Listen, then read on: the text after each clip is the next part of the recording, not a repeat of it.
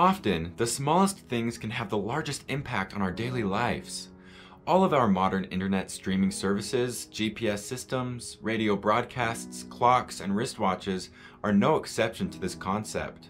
Although timekeeping, specifically, has a longer history with larger mechanical works, deepening study of the atom in the 20th century saw time-oriented tech becoming smaller and smaller, as well as incredibly more precise. From the mid 17th century up until about the 1930s, the most accurate way to tell the time was the pendulum clocks. However, the commercial introduction of a quartz crystal oscillating movement in 1927 made timekeeping even tighter. Not long after the introduction of this quartz technology, atomic timekeeping tech went into working development. But what does atomic time really mean? At this point, the omnipresence of this technology makes it almost mythical in its scope and ability to aid us in our daily industrious endeavors. So ahead, we'll look at some brief history involving this revolutionary time-telling technology to pare down the picture of how it actually functions.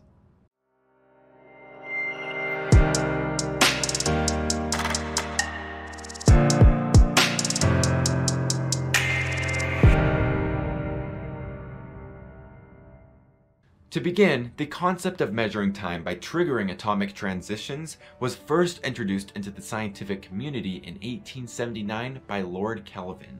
It took some time to actually put this concept into practice though. In 1930, these transitions, aka oscillations or movements, between the nucleus of an atom and its surrounding electrons were utilized via magnetic resonance. This practical method, developed by Isidore Rabi, lit a flame under atomic research and timekeeping. By 1945, Rabi made his first public suggestion that magnetic beam resonance could be used in clocks. Four years later, the first atomic clock was created by the US National Bureau of Standards, now NIST, to demonstrate this budding technology. Though the invention was groundbreaking, this proto-atomic clock was still not as accurate as the quartz crystal oscillation movement of the time. The clock's ammonia absorption mechanics really only served to prove that atomic time could be achieved. It wasn't until 1955 that the caesium standard, utilizing an oscillation in the caesium 133 atom, was developed by UK scientists. This new measurement standard made atomic clocks smaller and more accurate. In terms of this accuracy, this oscillation measurement standard labels one second as 9,192,631,770 oscillations from ground state. Basically, it's a whole lot of shaking going on. By 2004, the atomic clock was scaled down to 1 100th of any other atomic clock via chip scale technology.